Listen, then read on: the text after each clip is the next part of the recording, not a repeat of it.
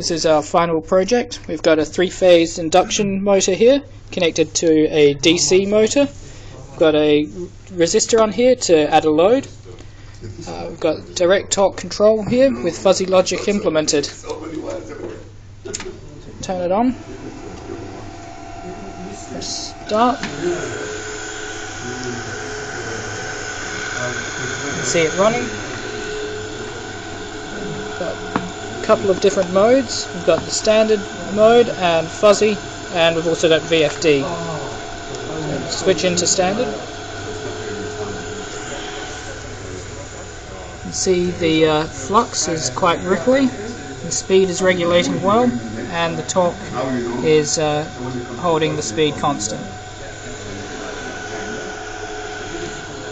If I change it back into fuzzy mode,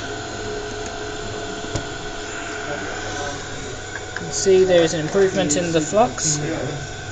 Speed continues to regulate well, and the torque is fairly constant. Okay, change the speed.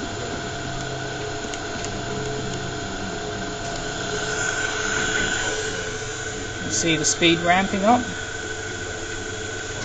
You can see the flux increasing for the uh, speed to increase.